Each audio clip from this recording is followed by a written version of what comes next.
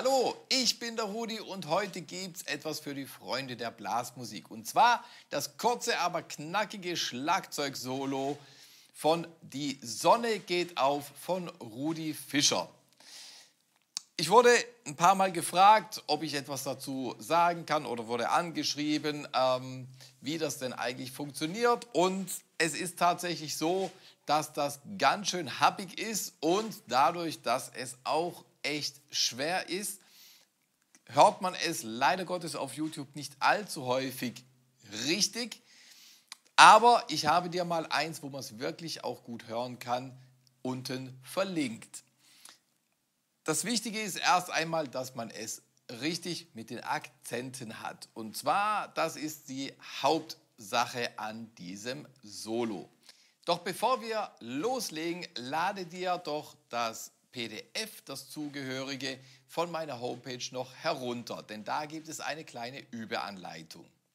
In der ersten Übung habe ich dir hingeschrieben, klatsche den Puls und spreche die Akzente. Das Wichtige hier ist, es ist in dem Allerbreve-Takt. Das heißt, der Takt wird auf zwei gezählt. Eins, zwei, drei, vier.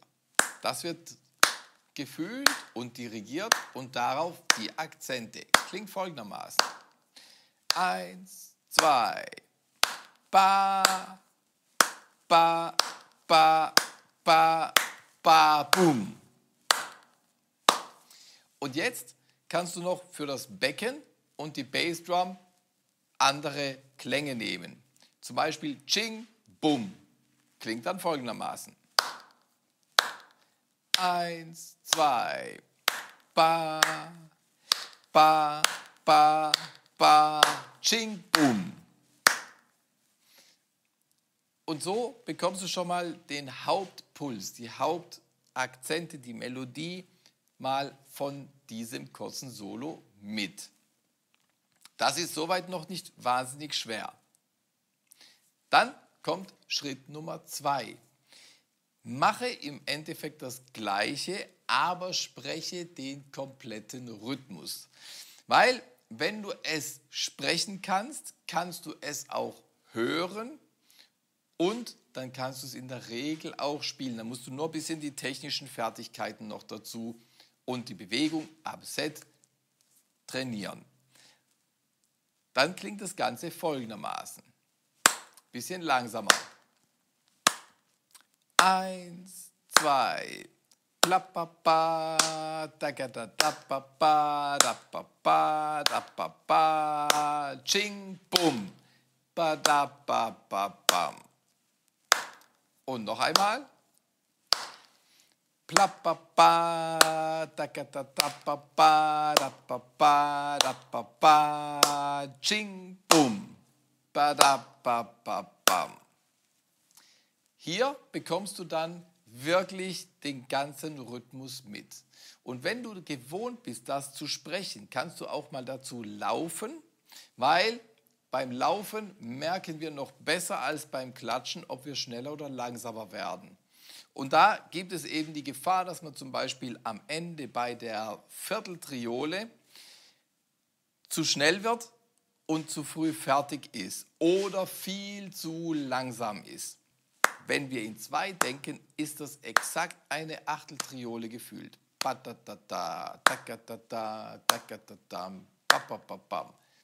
Mehr ist es nicht. Okay? Und so einfach wirklich sprechen lernen. Und im nächsten Schritt kommen die Handsätze dazu. Jetzt in Nummer 3 gilt es erstmal nur den Handsatz ohne die technische Voraussetzung des Wirbels zu spielen. Ich mache mir dann immer eine Einteilung, wie genau wirbel ich jetzt in was für einer Unterteilung. Und hier bietet sich bei diesem Solo das an, wirklich in Achteln durchzuspielen. Das ist ein einheitlicher Puls in Sechzehnteln oder in Triolenwirbeln. Das wird alles wahnsinnig hektisch und passt hier nicht wirklich hin. Bei meiner Notation ist es so, wenn du die Zeile siehst, alles was unter der Zeile ist, ist die rechte Hand, alles was über der Zeile ist, ist die linke Hand.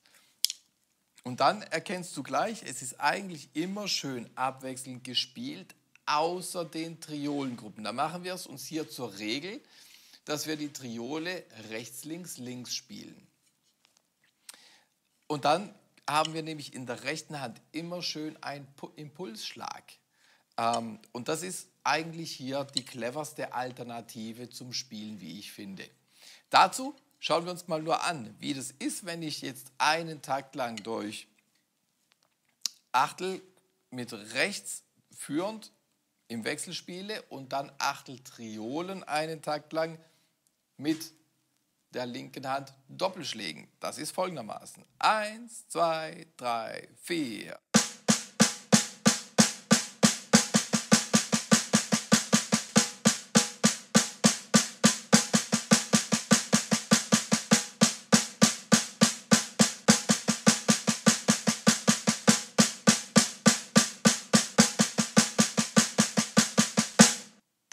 Solltest du auf jeden Fall drauf haben. Und jetzt gucken wir uns an, wo wir das denn eigentlich vorfinden. Das ist lediglich im ersten Takt am Ende sind zwei Achtel, die noch vom Wirbel kommen und diese Triole. Jetzt schauen wir uns dann den Handsatz mal an. Ähm, lediglich mit der Verteilung, schon mit Becken und Bassdrum auch dabei, aber ohne Akzente und ohne Wirbel. Und das denken wir auch erst einmal in vier. Und das sieht folgendermaßen aus. Eins, zwei, drei, vier.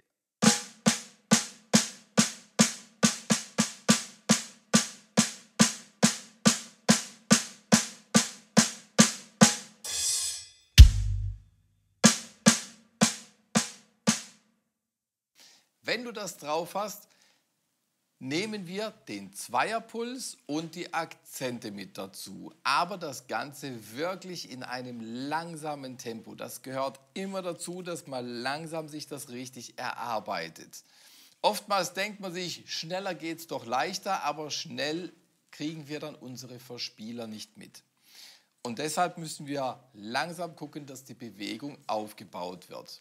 Ich beginne hier im halbe Tempo 60.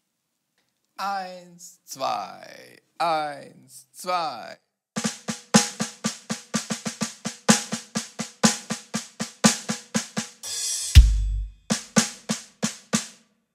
Hier kommt noch eine Besonderheit hinzu, an die du dich gleich gewöhnen solltest. Und zwar, das Crashbecken wird abgedämpft. Das macht einfach wirklich Sinn, dass man es nicht durchklingen lässt, weil man hat ja sofort auch ein Decrescendo hinten dran, dann ist eine schöne leise Stelle und wenn das Becken nachklingt, dann ist das einfach wirklich störend. Und man hört auch tatsächlich in Aufnahmen, dass es weggedämpft wird.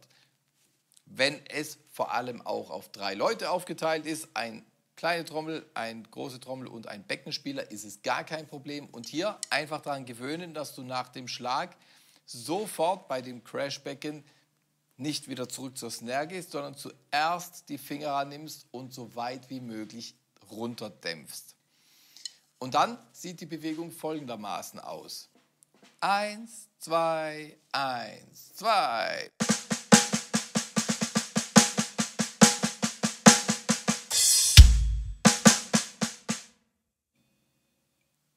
Jetzt haben wir schon ein recht gutes Fundament und jetzt gehören die Prallereien. Das ist in der nächsten Übung der Fall. Da habe ich dir dann reingesetzt, es ist exakt der gleiche Handsatz, nur eben die einzelnen Schläge, die geprallt werden sollen, sind markiert mit solchen sogenannten Abbreviaturbalken. Und dann klingt das Ganze folgendermaßen, auch in Tempo 70. Eins, zwei, eins, zwei.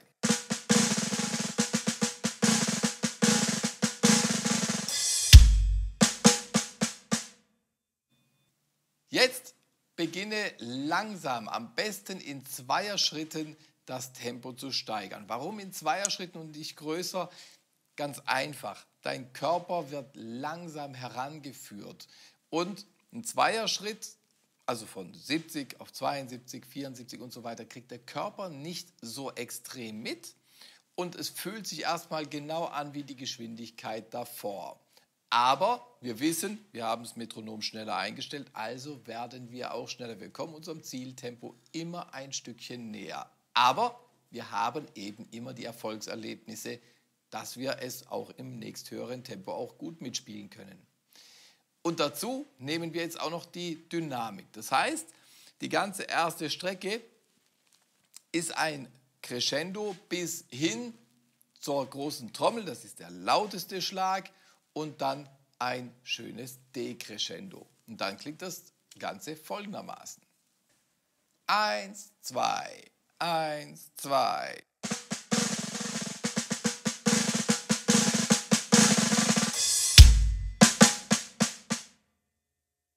Wichtig ist hier auch, dass in den langsamen Geschwindigkeiten der Wirbel jetzt erstmal nicht richtig rund klingt. Lass dich dadurch nicht irritieren. Das ist ja nicht das ähm, volle Konzerttempo, sondern das ist ein Übetempo. Da klingt der Wirbel halt erstmal nicht ganz so rund, aber in der hohen Geschwindigkeit wird es dann richtig glatt laufen.